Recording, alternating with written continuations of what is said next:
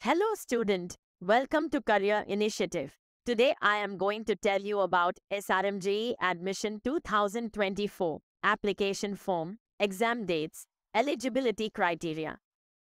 Now come to the SRM 2024 application form. The SRM 2024 application form is expected to be released in the last week of November 2023.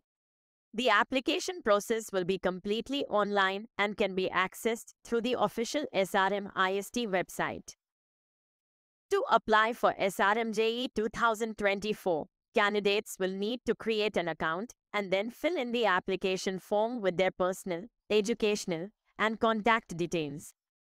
They will also need to upload scanned copies of their required documents, such as their Class 10 and 12 mark sheets, passport size photograph, and identity proof. After submitting the application form, candidates will need to pay the application fee.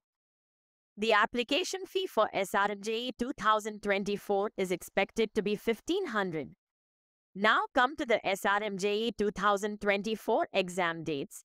SRM 2024 is expected to be conducted in three phases in the months of April, May, and June 2024. Now come to the SRMJE 2024 eligibility criteria.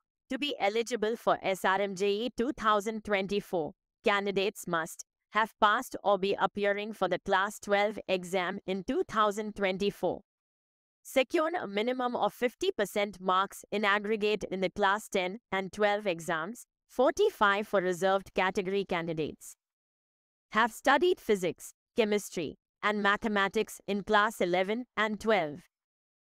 Now come to the SRMJE 2024 admission process. Admission to SRM IST campuses and BTech courses is based only on SRMJE All India rank. The admission process will be conducted in multiple rounds. In each round, candidates will be offered admission to the best available course and campus based on their rank. Thank you for watching. Please like and subscribe my channel.